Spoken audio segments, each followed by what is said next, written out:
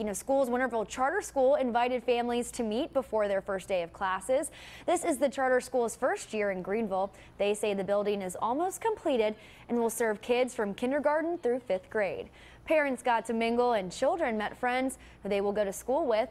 Teachers also were available to meet with the students and parents. Amy Ricks, a parent of a child with a disability, says this event lessens the amount of stress that she has heading into the new school year gives me a chance to meet the teachers and the parents and just kind of see what kind of atmosphere it's going to be for my son. Um, everybody here is friendly and seems like they want to help and we're all here for the same thing, the better education of our children. The official start of school for Winterville Charter Academy is August 20th.